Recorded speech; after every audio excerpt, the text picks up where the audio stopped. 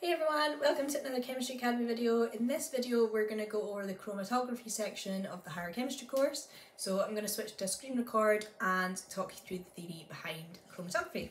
So in chromatography there's a few, a couple of different types of chromatography that we use but mainly all of them are used to identify substances. So if you've got a mixture or a sample that you're wanting to analyse to find out what's in it then you can use any type of chromatography to do that.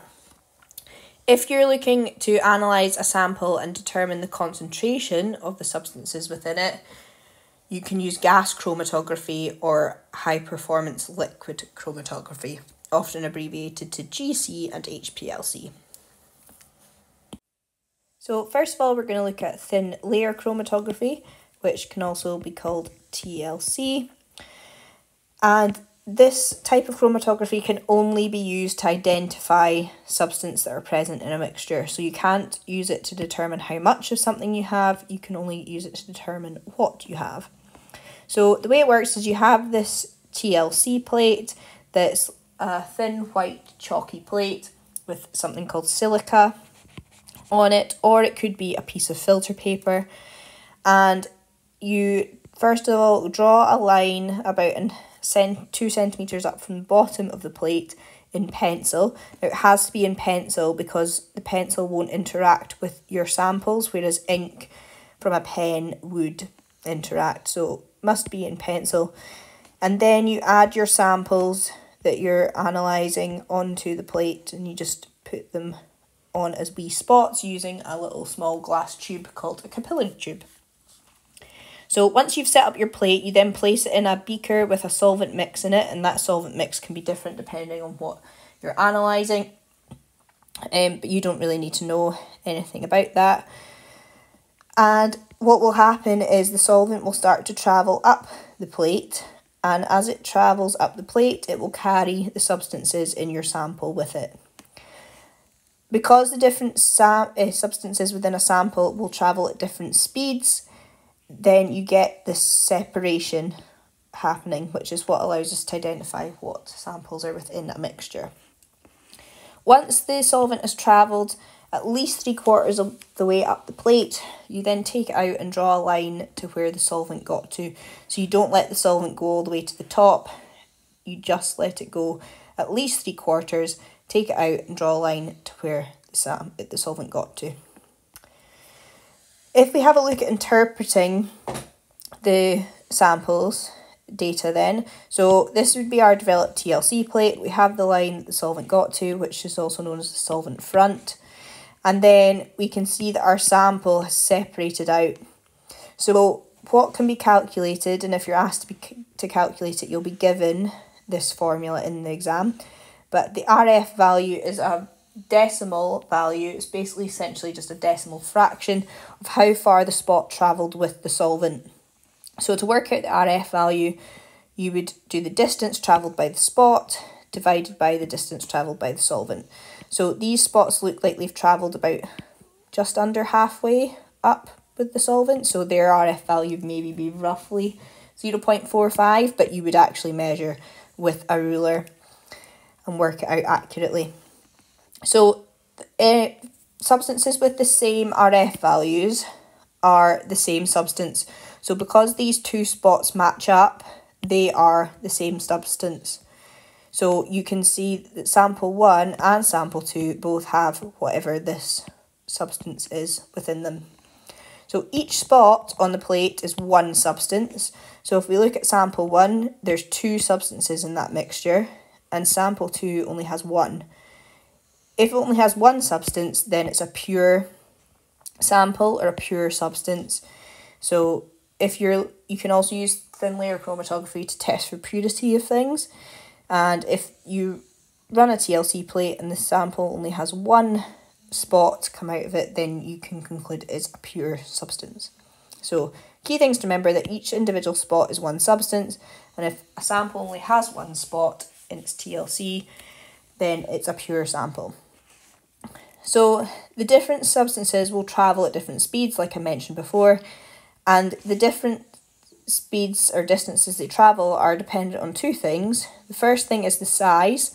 So smaller particles tend to travel further. That's just because they're lighter, so they're easier for the solvent to carry. And secondly, they're separated based on polarity. So separation due to polarity is really dependent on what your solvent mix was. So if your solvent mixture was polar, then the polar molecules will travel further because as your polar solvent is travelling up the plate, it's going to carry those polar molecules with it because like dissolves like, so the polar solvent is going to interact with the polar molecules. That then means that the non-polar molecules wouldn't move as far, so they'd be further down the plate. If we then look at the other type of chromatography that we get, uh, which is gas chromatography or liquid chromatography, also sometimes called high performance liquid chromatography. This um, works in a big machine. Um, so you have within the gas chromatography or liquid chromatography machine, we've got this thing called a column. So it's essentially a tube, but we call it a column. And the column is lined with what's known as a stationary phase. So it's got a coating inside of it. And that coating will cause molecules to travel through the column at different speeds. Okay, so again, we get separation. In gas chromatography, just like TLC, substances are separated based on their size. So again, the smaller molecules will travel through faster. So in this case, they would have what we call a lower retention time. So we don't have RF values in this type of chromatography. We have retention time. So retention time is essentially just how long it took the substance to get out of the column. So if the smaller molecules are travelling faster, they'll take less time to get through the column and reach the detector. The other thing they get separated on again is the polarity. So like I said, that coating in the column, the stationary phase, if the coating is polar, the polar molecules in your mixture are going to take longer to travel through because they're going to be held back by the polar coating on the column because they will be interacting with each other. So in that case, if you've got a polar column, the polar molecules are going to take longer to travel through, so their retention time will be higher. I quite often think of it like if a celebrity was travelling down a red carpet, if it was a celebrity that all the fans at either side really liked, they'd be getting asked to stop for photographs, autographs, and it would take them much longer to get down the red carpet if the celebrities are liked. Whereas if they're celebrities that people aren't really interested in, then they get down the red carpet quite quickly. So it's the same with the molecules. If your column is polar, the polar molecules, because like dissolves like, are going to be held in the column faster, whereas the non-polar molecules would travel through much quicker.